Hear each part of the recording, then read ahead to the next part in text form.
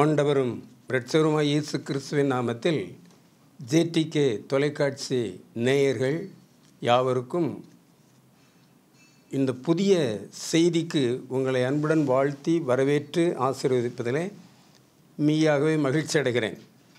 தமிழ் இலக்கியமும் திருமறையும் ஒரே நேர்கோட்டில் பயணிக்கின்றன. தமிழ் இலக்கியம் திருமறை ஒரே நேர்கோட்டில் பயணிக்கின்றன. எத்தனையோ காலம் காலங்காலமாக ஆற்றுப்படை என்ற தலைப்பில் யாரையும் ஒரு அரசனை பாட்டுடை தலைவனாக்கி புலவர்கள் பாடி மகிழ்ந்து பரிசு பெற்றிருக்கிறார்கள். அந்த வகையில் இன்றைக்கு நான் உங்களோடு சொல்ல வேண்டிய சொற்பொழிவு என்னவென்றால் காலத்தின் கட்டாயங்கறி சொற்பொழிவு அல்ல சொற்பிழிவு நிகழ்த்த விரும்புகிறேன். இந்நாளின் தலைப்பை சொல்கிறேன் திருமறையாற்று படை இது எந்த அளவுக்கு ஒத்துவரும்னு எனக்கு தெரியாது. ஆனால் திருமறையாற்று படை என்ற தலைப்பில் இலக்கிய பேருரை நிகழ்த்துவதிலே மிகுந்த மகிழ்ச்சி அடைகிறேன். தயவு செய்து கவனமாய் கவனிக்கும்படி பணிந்து வேண்டுகிறேன். பரணிபாயும் தரணிக்கு மேலை நாட்டு அருள் தொண்டர்கள் வலம் வந்து தேனிலும் இனிய திருமறை விதை விதைத்து போயினர். அது முளைத்து முப்பது அறுபது நூறாக பலன் கொடுத்து உலகமெங்கும் பரவி பலன் கொடுத்திருக்கிறது. அது தென்னெல்லை சீமையிலே அவை அநேக அடையாளங்களை அழியா சின்னங்களாக கோலங்களாக வரைந்துள்ளது. வானளாவிய கோபுரங்கள் அழகிய ஆலயங்கள் தேனிலுமினிய பாடல்கள் ரட்சிப்பின் கம்பீர சத்தங்கள் இவையில் ஆவியானொரு அருளாற்றல். எங்கும் காணலாம். ஒட்டுமொத்த பணிகளும் இறைவன் இயேசுவையே பறைசாற்றுகின்றன. திருமறையினாலும் சரி தமிழ்மறையாலும் சரி எல்லா பல்லாயிரம் ஆண்டுகளாக ஒரே நேர்கோட்டில் பயணிக்கின்றன என்று ஏற்கனவே நான் சொன்னேன். கம்பன் தொடங்கி வேதநாய சாஸ்திரியார் வரையிலும் ஒரே கருத்தை ஆண்டு கொண்டனர். செற்றரசர்களும் பேரரசுகளும் தமிழை வளர்ப்பதற்கு தொல்காப்பியம் முதல் ஓடி விளையாடு பாப்பா வரை தமிழின் இதயத்தை வருடினர். முறை செய்து காப்பாற்றும் மன்னன் மக்களுக்கு இறையென்று வைக்கப்படும். திருவள்ளுவர் சொல்கிறாரு முறை செய்து காப்பாற்றும் மன்னன் மக்களுக்கு இறையென்று வைக்கப்படும். க அரசனை இறைவனாகவே சித்தரிக்கிறார். அவன் முறை செஞ்சு ஒழுங்காக வேலை செஞ்சான்னா அந்த மாதிரி அவன் இறை இறைவனுக்கு சமமாய் மாற்றுகின்றான். அப்படி சொல்லப்பட்டிருக்கிறார் பாண்டிய நாட்டை ஆண்ட பாண்டிய நெடுஞ்செழியன் கண்ணை சம்பவத்தில் நான் ஒளிக அப்படின்னான் பாருங்க. நான் ஒளிக இப்போ அவன் ஒழிக இவன் ஒழிக அவன் வாழ்க வாழ்கன்னு சொல்கிறாங்க ஆனால் தான் தவறு செய்த பொழுது நான் ஒழிக அவனை பாட்டுடை தலைமையாக்கி இருக்கிறார்கள். அது மட்டுமல்ல அதியமான் கடையேழு வள்ளல்களில் ஒருவன் அதியமான். அவன் சொல்கிறான் குடிபள்ளி தீர்த்த வாழேன் மக்கள் தூற்றும்படி நான் வாழ மாட்டேயா செத்து போயிடுவேன் அப்படி சொல்கிறான் அடிச்சு என்று அதிகமான ஒரு கர்ஜனை பண்ணுறார் அப்படி.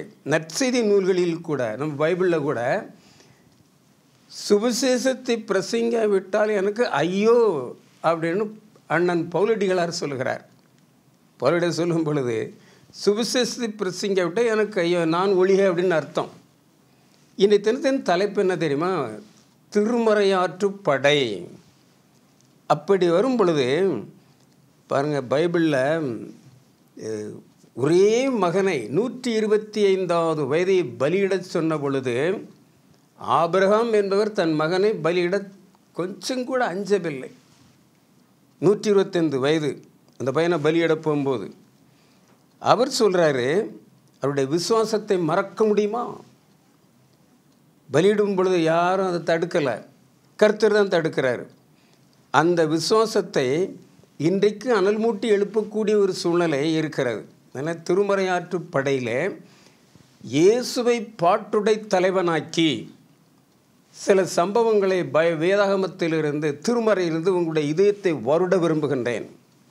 நில்லுங்க நிற்க. பல்லாயிரம் ஆண்டுகளை விழுங்கிவிட்ட வீரத்தமிழனின் வரலாறு புதைந்து விடவில்லை. வீரத்தமிழனின் வரலாறு புதைஞ்சிரல. தோண்ட தோண்ட வந்து கொண்டே இருக்கிறது. கீழடியிலே தோண்டுகிறார்கள் கொற்கையிலே தோண்டினார்கள் எங்கள் சொந்த ஊர் மாங்குடியிலே தோண்டினார்கள். இவையெல்லாம் அந்த பண்டை தமிழனுடைய வரலாற்றை பறைசாற்றுகிறது வெளிக்கொணர்கிறது. பல ஆயிரங்கள் ஆண்டுகள் ஆகிவிட்டது. அவற்றிலே புறநானூறு அகநானூறு மகாபாரதம் மணிமேகலை சீவக சிந்தாமணி மலைபடுகடாம் இப்படி நூற்றுக்கணக்கான தமிழ் இலக்கிய நூல்கள் தமிழனுடைய பெருமை பறைசாற்றி கொண்டிருக்கிறது. அது மட்டுமல்ல நம்முடைய தமிழ் பண்பாடு எப்படி என்றால் காதல் மானம் வீரம் இவற்றைத்தான் அதில் போதிக்கிறது. இவற்றை பாடின புலவர்கள் சித்தரசரிடத்தில் பேரரசரிடத்தில் பரிசு பெற்று தங்களையும் வளர்த்து கொண்டார்கள் இலக்கியத்தையும் வளர்த்தார காலத்தால் அழியாத பாடல்கள். அன்புக்குரியவர்களே தமிழ் பேரறிஞர்களே விசுவாசிகளே ஊழியக்காரர்களே கிறிஸ்தவர்களே கிறிஸ்தவர்களே சிந்தித்து பாருங்கள். தமிழையும் வளர்த்தார்கள் தங்களையும் வளர்த்து கொண்டார்கள். இதே மாதிரி க பெரும்பானாற்றுப்படை சிறுபானாற்றுப்படைகளும் அந்த காலகட்டத்தில் சமைக்கப்பட்டன. திருமறையில் ஆண்டவர் இயேசுவை பாட்டுடை தலைவனாக்கி அவரை புகழ்ந்து பாடி வேண்டி நிற்பதான் இந்த இந்த பொழிவின் நோக்கம். அதனால் திருமறையாற்றுப்படை என்று சூட்டியுள்ளேன். அதற்கு கிறிஸ்தவ தொலைக்காட்சி நிறுவனம் ஜேடிகே எனக்கு துணை நின்றது. அதை நிர்வாக இயக்குனர் பெருமைக்குரிய திருமதி ராகினி கென்சிங்டன் அவர்கள் கொடுத்த ஆக்கம் ஊக்கம் ஒத்துழைப்பு மறக்க இயலாது. நிர்வாக சீர்மை ஆளுந்தன்மை அரவணைப்பு நுண்மான் நுழைபுலம் மிக்கவர்கள் அவர்கள்.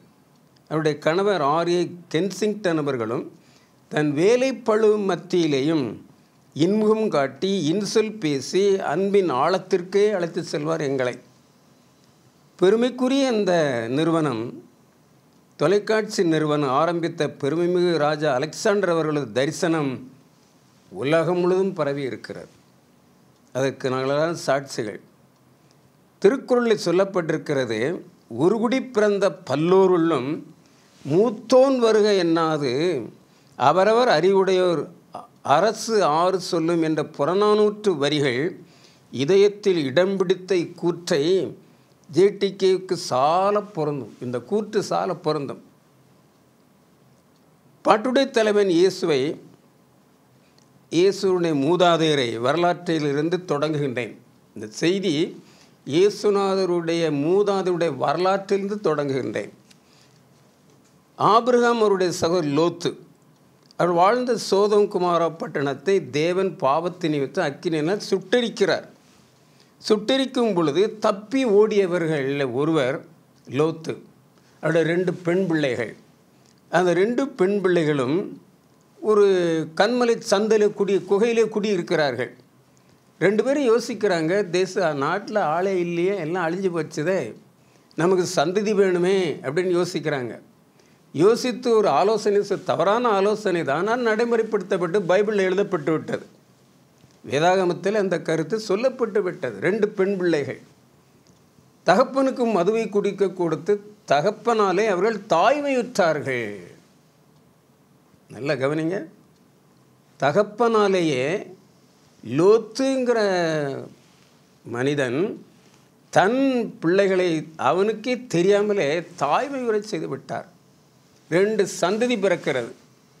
அம்மோனியர் மோவாபியர். இது ஆதியாகமம் பத்தொன்பதாம் அதிகாரம் முப்பத்தொன்று முப்பத்தாறு முப்பத்தேழு முப்பத்தெட்டு ஆகிய வசனங்களில் இருக்கிறது. முப்பத்தி ஏழாவது வசனத்தில் அம்மோனியரும் முப்பத்தெட்டாவது வசனம் மோவாபியரும் பிற சந்ததி உருவாயிருச்சு. பிறந்துருச்சு உருவாயிருச்சு. அது என்ன இது பாருங்கள் ஆ- உபாகம் இருபத்தி மூன்று மூன்றிலே அம்மோனியனும் மோவாபியனும் கர்த்துடைய சபைக்கு உட்படலாகாது. நல்லா கவனித்து பாருங்கள் அம்மோனியனும் மோவாபியனும் கத்தோடைய சபைக்கு உட்படலாகாது. இந்த வீர வரலாற்றை நாம் யோசித்து பார்க்க வேண்டும். தவறான வரலாறா? இல்லை. மோசையினுடைய சட்டத்தில் இப்படி கொண்டு வருகிற அம்மோனியும் மோவாபியனும் கத்தோடைய சபை உட்படலாகாது. ஆனால் மோவாபி பெண்ணாகி ரூத்தும் அவருடைய கணவர் போவாஸுக்கும் பிறந்தவள் தான் ஓபேத். மோவாபி பெண் இவர் இஸ்ரவேலன். இந்த இஸ்ரவேலனுக்கும் மோபினுக்கு சம்மந்தம் கொடுக்கக்கூடாது சட்டம். ஆனால் எடுத்துச்சு. கல்யாணம் நடந்து போச்சு. அவள் மோவாதிய பெண். குழந்தை பிறக்கிறது. ஓபேத் என்று பெயரிடப்படுகிறது. அந்த ஓபேத்து ருத்து சரித்திரம் நாலாம் அதிகாரம் பத்தாம் வசனுடைய பிந்தின பகுதி. இருபத்தி ரெண்டாவது வசனத்தில் அந்த சந்ததி தான் தாவீது பிறக்கிறார். ராஜாவாகிய தாவீது அந்த சந்ததியில் பிறக்கிறார். அந்த சந்தையில் பிறந்து விட்டு மற்ற இருபத்தி ரெண்டு நாற்பத்தி ரெண்டில் தாவிதின் குமாரன் இயேசு. எந்த ஜாதி எந்த இனத்தையும் வெறுக்காத தேவனை பாடாமல் இருக்க முடியுமா? நீ ஜாதி சண்டை போட்டு கிடக்கிறாங்க. அம்மோனியனையும் மோபியனையும் சேர்க்கக்கூடாது. இஸ்ரவேலரோடு இணைக்கக்கூடாது. அன்புக்குரியவர்களே வேத விற்பன்னர்களே சற்று யோசித்து பாருங்கள். இன்றைக்கு என்ன நடத்தது இந்த வேதாகமத்தில்?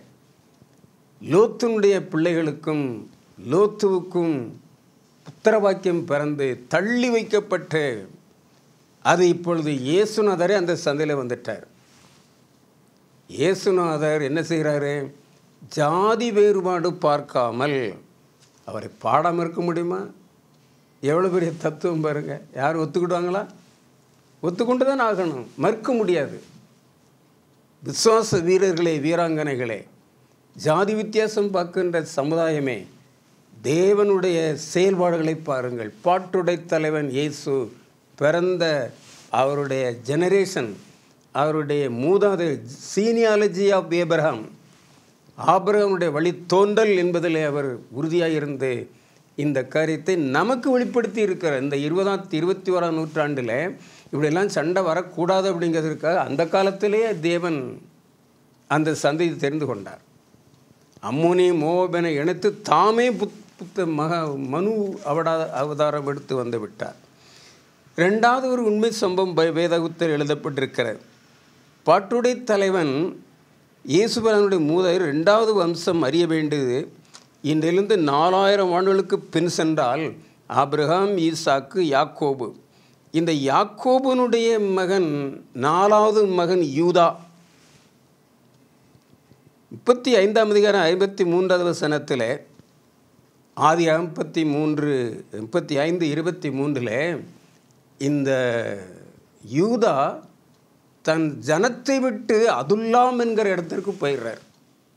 எங்கே இருக்கணும்? வனத்தில் மேஞ்சி இனத்தில் அடையணும். ஆனால் அதுக்கு பதிலாக அவர் அதுல்லாம் என்கிற இடத்துக்கு போயிடுறார். அங்கே போன இடத்தில் அது காணானிய பெண்ணை ஈராம் என்கிற ஈரா என்கிற இடத்துல போய் சேர்ந்தார். போனவன் சும்மாவாக இருந்தான்? போனவன் சும்மாவாக இருந்தான்? அங்கே ஒரு கல்யாணம் பண்ணிட்டார்.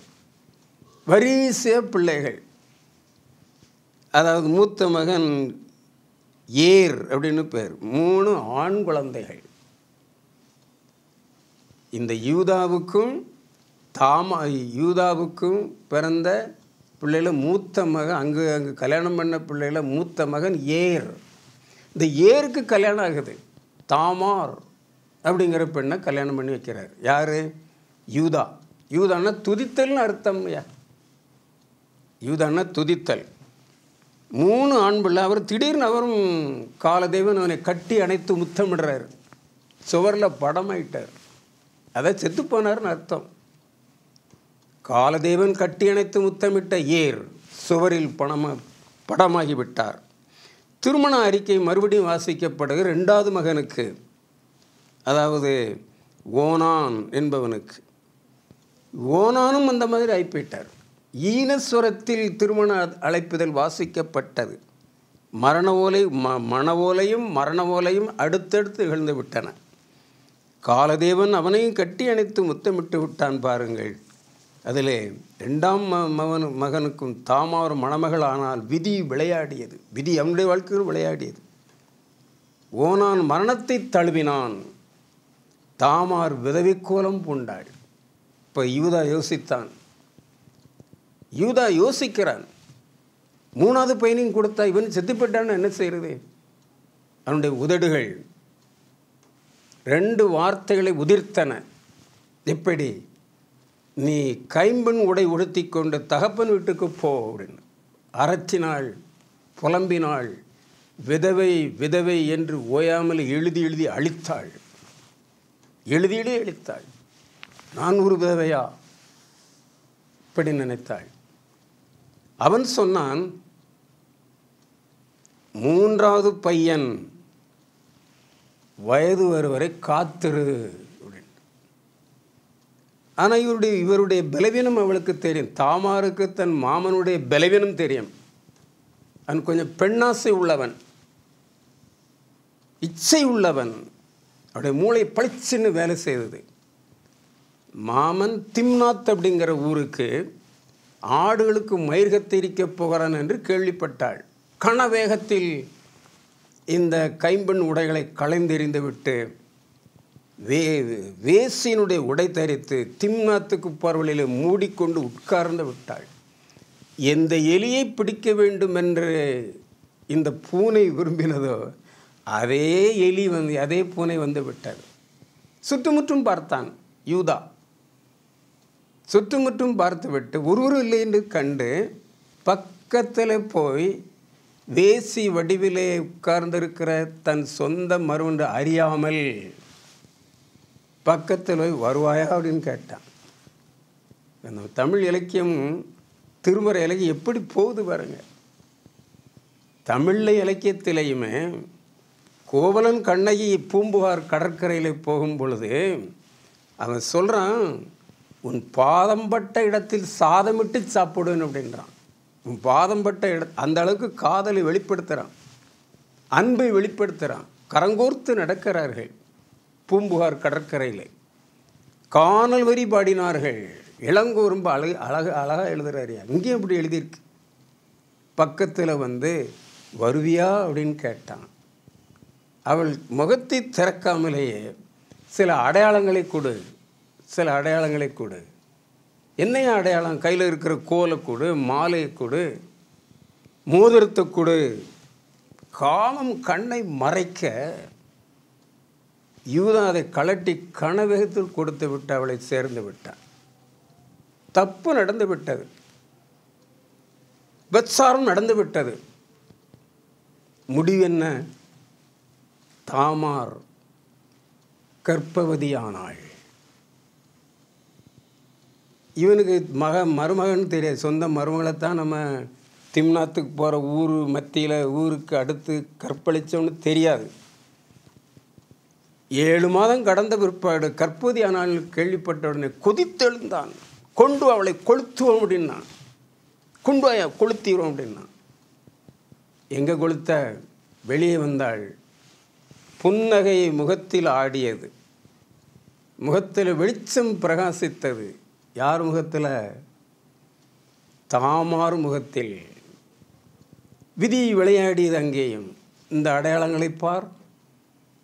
கோலப்பார் இந்த கைத்தடியை பார் இந்த மோதிரத்தை கணையாளியை பார்.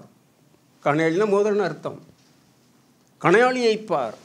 இவனோட இவனா இது இந்த இதை உடையவனால் தான் நான் தாய்மையுற்றேன். திம்னாத்துக்கு போகிற வழி தெரியுமா? பேரஞ்ச மாதிரி ஆயிட்டான். பேரஞ்ச மாதிரி ஆயிட்டான். அங்கேயே இரட்டை குழந்தைகள் பிறக்கிறது. அங்கேயே இரட்டை குழந்தைகள் பிறக்கிறது. கொளுத்துவேன்னு சொன்னான்ல வெட்கி தலை குனிந்து விட்டான். ஆதி முப்பத்தெட்டாம் அதிகாரம் இருபத்தி ஒன்பது வசனத்தில் யூதா தாமார் மருந்து முத்திரையிடப்பட்டுள்ளது. மத்தை முதலாம் அதிகாரம் மூன்றாம் வசனத்தில் பாரே சாரா என்பவர்களை தாமாரிடத்தில் யூதா பெற்றான்னு போட்டிருக்குது. ஒன்று நாளாகம் இரண்டாம் அதிகாரம் நாலாம் வசனத்தில் யூதாவினுடைய மருமகள் தாமார் தான் என்று முத் முத்திரிட்டிருக்கையா வரலாற்றில் இடம் இடம் பிடிச்சிருக்கு. அங்கே என்ன நடக்குது பாருங்கள் ரெட்டை பிளந்து பிள்ளைகள் பிறக்கிறது. வரலாற்று சுவடுகளை மறக்க முடியுமா? முடியாது. கிறிஸ்தவர்களே கிறிஸ்தவர்களே விசுவாசிகளே விசுவாசிகளே ஜேட்டிக்கையின் நேயர்களே ஜேட்டிக்கை நேயர்களே சற்று சிந்தித்து பாருங்கள். பாட்டுடை தலைவன் இயேசு எங்கே பிறக்கிறார் பாருங்க எந்த வம்சத்தில் வரார் பாருங்க. எலியேசருக்கு கட்டளையிட்டு அதாவது வரலாற்றிலே மத்தையும் ஒன்று பதினாறில் அந்த சந்ததியில் இயேசு கிறிஸ்து எனப்படுற இயேசு பிறந்தார். யூதாவுக்கும் தாமாருக்கும் பிறந்த சந்ததியிலே தான் இயேசு பிறந்தார்னு முத்திரை போட்டாச்சு. வரல ஆதார் அட்டையில் எழுதியாச்சு. நம்ம ஊர் நம்ம ஊர் மொழியில் சொல்லப்போனால் ஆதார் அட்டையில் எழுதியாச்சு. கல்யாணம் நடந்து போச்சு. பலமுறை சிந்திப்பேர் பலமுறை சிந்திப்பேர் இது தவறா? இதனால் அப்படி ஆயிற்று? எல்லா ஜனத்திற்கும் மிகுந்த சந்தோஷத்தை உண்டாக்கும் நற்செய்தி இயேசு பிறந்தாருங்கிற செய்தி அவருடைய வரலாறு என்னய்யா அவருடைய வரலாறு என்னுடைய நாமம் என்ன? இயேசு. அவருடைய அப்பா பேர் என்ன? யோசேப்பு. யோசேப்பினுடைய அப்பா பேர் என்ன? அவருடைய அப்பா பேர் என்ன? அவருடைய பதினான்காம் தலைமுறை என்ன அப்படின்னு கேட்டால் யூதா. யூதாவினுடைய அப்பா பேர் என்ன? யூ- அவருடைய அப்பா பேர் என்ன? ஆபிரகாம். இந்த சந்ததியில் தான் இயேசு வந்தார். எதுக்கு வந்தார் அப்படின்னா எல்லா ஜனத்திற்கும் மனுஷன் தான் நம்ம தான் ஜாதி சண்டை போட்டு கிடக்கிறோம். நம்ம தான் ஜாதி சண்டை போட்டு கிடக்கிறோம். அதனால தான் யோவான் எட்டு பதினொன்றிலே கையங்களவுமாய் கண்டுபிடிக்கப்பட்ட பெண்ணிடத்திலே தேவன் சொன்னார் நானும் உன்னை குற்றாளி தீர்க்கவில்லை. உன்னை ஆக்கினைக்குள்ள தீர்க்கவில்லை. போ பாவம் செய்யாதே அப்படின்னு அனுப்பிவிட்டார். தோற்றத்தை யோவான் ஏழு இருபத்தி நாலிலே தோற்றத்தின்படி தீர்ப்பு செய்யாதிருங்கள். ஆமையா இப்படி தான் ஏன் பிறந்தார். இது தப்பான பிறப்பு. இவரை கடவுளாக ஏற்றுக்கொள்ள முடியாதுன்னு சொல்லி தீர்ப்பு சொல்லாத. தாமாருக்கும் யூதாவுக்கும் பிறந்த சந்ததி தான் இயேசு அப்படிங்கிறது அதிகாரப்பூர்வமாக எழுதியிருக்கு. சட்டத்தில் எழுதியிருக்கு. திருமறையில் எழுதியிருக்கு. பைபிளில் எழுதியிருக்குது. மறக்க முடியுமா? என் அன்பு சகோதர சகோதரிகளே தொலைக்காட்சி நேயர்களே இவரை புகழ்ந்து பாடுங்கள் எல்லா ஜனத்திற்கும் மிகுந்த நற்செய்தி. இயேசு பிறந்தாருங்கிற செய்தி அவருடைய வழித்தொண்டரை புறம்பு இருக்கிறதை பார்க்க வேண்டாம். அவருடைய பிறப்பின் நோக்கத்தை பாருங்கள். பாட்டுடைய தலைவன் இயேசுவினுடைய புகழுக்கு மற்றொரு புகழோவியம் வரைய விரும்புகிறேன். இஸ்ரவேலர் தாபித்தின் வம்சத்தார் என்பதில் ரொம்ப பெருமை கொள்வர். அந்த நாட்டுக்கு போயிருக்கிறேன். கிங் டேவிட் சிட்டி அப்படின்னு எழுதியிருக்கும். சுவரில். தாவிராஜா கட்டின சுவரில் King David city. Four thousand years of the history of Israel அப்படின்னு எழுதியிருக்கு. நாலாயிரம் ஆண்டுகள் வரலாறு உடைய இந்த கோட்டை சிறவேலர் அப்படின்னு. பாருங்க ரெண்டு சாமுவேல் பதினொன்று ஒன்றிலே ரெண்டு சாமு அதாவது தாவிது கோட்டையை பிடிக்கிறார். அது தாவிதின் நகரமாயிற்று. அவர் யுத்தம் பண்ண வேண்டிய காலம் யார்? சியோன் கோட்டையிலிருந்து யுத்தம் பண்ண வேண்டிய காலம். ரெண்டு சாமியில் பதினொன்று ஒன்றிலே அவர் யுத்தத்துக்கு போகலை. யுத்தம் பண்ண ராஜாக்கள் யுத்தம் பண்ண வேண்டிய காலம் வந்துருச்சு. இவர் யுத்தம் பண்ண போகல. கோட்டையில் மேலே நடமாடுறார். உப்பரியில் நடமாடுறார். உப்பரினா கைப்பிடி சோறு மேலே நடக்கிறார். மேலேருந்து பார்க்குறாரு சுற்றுமுற்றும் பார்த்தா அவங்க ஒரு அழகான அருமையான பெண் சும்மா பதுமை மாதிரி அடர்ந்த முடி சிவந்த கண் சிவந்த கன்னம் ஆப்பிள் மாதிரி நிறம் கிளி மாதிரி மூக்குடைய ஒரு பெண் குளித்து கொண்டிருக்கிறாள். பார்த்துட்டார். இச்சையை வளர்த்துட்டார். இச்சையானது கர்ப்பம் தரித்து பாவத்தை பிறப்பிச்சிட்டது. யாருக்கு? தாவி ராஜாவுக்கு. அவர் எங்கே இருக்கணும்? யுத்தத்தில் இருக்கணும். எங்கே இருக்கிறார்? கோட்டை மேலே சுற்றிக்கிட்டு இருக்கிறார். அங்கே என்ன நடக்கு? உரியாவனுடைய மனைவி பத்சேபாள் குளித்து கொண்டிருக்கிறாள். இவர் கண்ணை மூடிட்டு இறங்கியிருக்கணும்ல. கண்ணை மூடி நம்ம என்னுடைய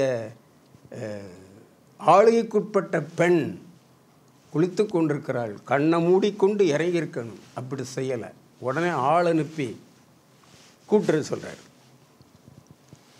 எந்த தவறு நடத்தக்கூடாதோ அந்த தவறு அடுத்தவனுடைய மனைவியிடத்தில் நடத்திட்டார். கொலை செய்யப்பட கடவன் இருக்குது. மோசனுடைய சட்டம் நல்லா கவனித்து பாருங்கள் மோசையினுடைய சட்டத்தில் பிறனுடைய மனைவியிடத்தில் பிரவேசிக்கிறவன் கொலை செய்யப்பட கடவன். நடந்துச்சா? நடந்ததா? இல்லையே. ஹலோ கவனிங்க. உச்சிதமான அவர் உரியா வந்து போர் மனைக்கு போயிட்டார். தாவிதும் மேலே சுற்றிக்கிட்டு இருக்கிறார். பெண்ணை பார்த்துட்டார். அழகை ஆராதித்தார். அவருடைய அழகை இருதயத்தில் வச்சு அப்படியே என்ன அழகு? என்ன சிறப்பு? என்ன கலர்? என்ன உடல் வாளிப்பு அப்படின்னு பார்த்துட்டார். நடந்துருச்சு. நடந்ததை என்ன செய்தார்? கூட்டுரு சொல்லிட்டார். கூட்டு அவளும் வந்துட்டார். வர வந்திருக்கக்கூடாது வந்துட்டா ராஜா கூட்டு வரேன்னு விட்டுத்தான் இல்லையா வந்துட்டா. பத்மநாப அரண்மனை தோன்றுவதற்கு முன்னால் பாருங்க அவங்கெல்லாம் கல்யாணம் ஆகாத அரசர்கள். பத்மநாபபுரம் அரண்மனையில் இருந்தவர்கள் கல்யாணமாகாதவர்கள். அவங்க ஊரில் பண்டிகைக்கு ஊருக்கு வராங்க அப்படின்னா இங்கே இந்திர தமிழ்நாட்டில் இந்திர பெருவிழா இந்திர விழா அப்படின்னு சொல்லி சொல்லுவாங்க. கிறிஸ்தவ மார்க்கத்தில் பஸ்கா பண்டிகைம்பாங்க. அவங்கதில் கோழிகை பண்டிகை. கோலி ஹோலி பண்டிகை எப்படி சொல்லுவாங்க. வரும்போது பெண்கள்லாம் சட்டையை எடுத்துட்டு உடலை அசைக்கும் ஆட்டணும். அப்படியெல்லாம் ஒரு கொடுமை ஆட்டெல்லாம் வெட்டிடுவான் இங்கேயும் எப்படி தான் நடக்கு. கூப்பிட்டு வா அப்படின்னு சொன்னோன்னே வரல. வெட்டிடுவான் அப்படின்னு பயந்து போய் அந்த அம்மா வந்தாச்சு. தப்பு நடந்து போச்சு. அந்த அம்மா மறுபடியும் தாய்மை விட்டாச்சு. தாய் விட்ட ஒரு குழந்தையும் பிறந்து போச்சு. கர்த்தர் பார்த்தார். இயேசு பார்த்தார். நீயே அந்த மனிதன் அப்படின்னு சொன்னார். நாத்தான் வேல் வந்து. நாத்தான். நாத்தான் தீர்க்கதரிசின்னு சொல்ல நீ தப்பு செய்துட்டப்பா. உனக்கு பிறந்த குழந்தையை கர்த்தர் அடித்தார்னு போட்டிருக்கு. நீ பைபிளை பற்றி படித்து பார்த்தீங்கன்னா அதாவது யுத்தத்திலே வீட்டுக்கு போக சொல்கிறாரு போகலை. குழந்தையை அடித்தார். ஆனால் அதே சமயத்தில் ரெண்டு சாமியல் பன்னிரெண்டு பதினைந்தில் அவர் பாவ அறிக்கை செய்கிறாரு குழந்தையும் அடித்தார் இவனை விட்டுட்டார். குழந்தையை அடித்தார் விட்டார் பன்னெண்டாம் வசனம் சொல்கிறார் பாருங்க வசனம் பன்னிரெண்டாம் அதிகாரம் எட்டாம் வசனத்தில் உன் ஆண்டனுடைய வீட்டை தந்தேன் உனக்கு இன்னும் தருவேன். ஸ்திரிகளையும் தருவேன் இன்னமும் தருவேன். நீ ஏன் இப்படி தப்புன்ற வேணா எத்தனை கல்யாணம் ஆகாத வாலிய பிள்ளைகளை நீ எடுத்துக்கொள். அப்படி சொல்ல சொல்கிறேன்னு சொல்கிறார் ஆண்டவர் அப்படி சொல்கிறாரு ஆனால் அந்த குழந்தைய அடிச்சிட்டு அடுத்த வார்த்தை பாருங்கள் பாவ மன்னிப்பு பெற்றாச்சு. பாவ அறிக்கை செய்தார். நான் பாவம் செய்தேன்னு சொன்னோன்னே மன்னிச்சிட்டார். நாத்தான் சொல்லார் உன் பாவம் மன்னிச்சாச்சுப்பா. சரி அடுத்து ஒரு குழந்தை பிறக்கு சாலமோன்னு பேர் விடுறாங்க. சாலமோனிடத்தில் கர்த்தர் அன்பாக இருந்தார் ஒரு குழந்தையை அடித்து அடிபட வேண்டியது யார்? இந்த ராஜாவாய தாவிது. அடித்தது அடிபட்டது யார்? பவமரியா குழந்தை. சாலமோனிடத்தில் கர்த்தர் அன்பாக இருந்தார்னு போட்டிருக்கு. அவனை அடிச்சிட்டு இவன் மேலே அன்பாக இருக்கிறார். இது என்ன ஒரு நியாயம்? உங்கள் மனசில் வருது இல்லையா? இந்த பாட்டுடை தலைவனுக்கு இந்த நியாயத்தை நியாயத்தை எப்படி வெளிப்படுத்துது? How to reveal the judgement எப்படியா இந்த நியாயத்தை வெளிப்படுத்துறது அப்படின்னா ஒரு வார்த்தை சொல்கிறேன் பாருங்கள் இன்று கர்த்தராய் கிறிஸ்துவின் ரட்சகர் உங்களுக்கு தாவிதின் ஊரில் பிறந்திருக்கிறார். எந்த ஊரில் தாவிது இருந்தாரோ அதே ஊரில் ரட்சகரும் பிறந்துட்டார்.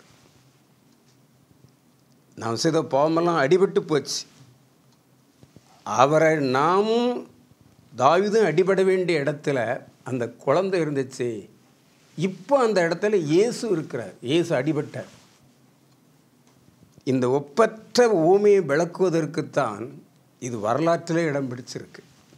வரலாறை தப்பாக புரிஞ்சுக்கிடக்கூடாது தேவனுடைய வல்லமையை தப்பாக புரிந்து கொள்ளக்கூடாது. மனுஷனுடைய செயல்பாடுகளை தவற எண்ணிவிடக்கூடாது. அன்றைக்கு அதுக்காக தப்பு செய்யணும் அர்த்தமா? இல்லை. இப்போ செய்ய முடியாது. கிறிஸ்தவர்களே விசுவாசிகளே விசுவாசிகளே சிந்தித்து பாருங்கள். ஒருவனை அடித்து என்னிடத்தில் அன்பாயிருந்து இன்றைக்கு ஒட்டுமொத்தமாக இயேசு நமக்காக சிலையில் அடிபட்டார்.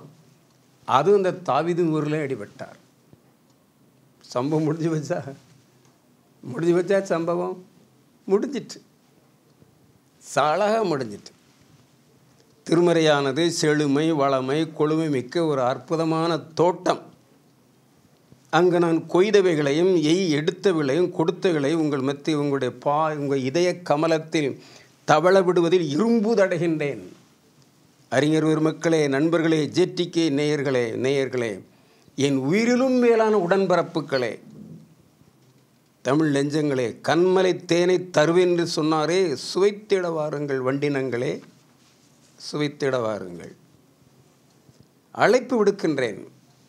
பாட்டுடை தலைவன் இயேசுபிரான். வாழ்க்கையை மேய்ந்து கொண்டே வரும் பொழுது இருபத்தி ஆதியம் இருபத்தி நாலாம் அதிகாரத்தில் என் கண் குத்தி நின்றது. அங்கு ஆன்மீக தந்தை ஆபிரகாம் அடிகளார் தனது திருமைந்தன் ஈசாவுக்கு பெண் தேடும் படலம். ஆபிரகாமுடைய மகனுக்கு பெண் தேடும் படலம் நடக்கிறது. அவர் சொல்கிறாரு எலியசர் தன் வீட்டு வேலைக்காரன்கிட்ட இங்கே பாரு நீ முசபத்தீமியாவுக்கு போ.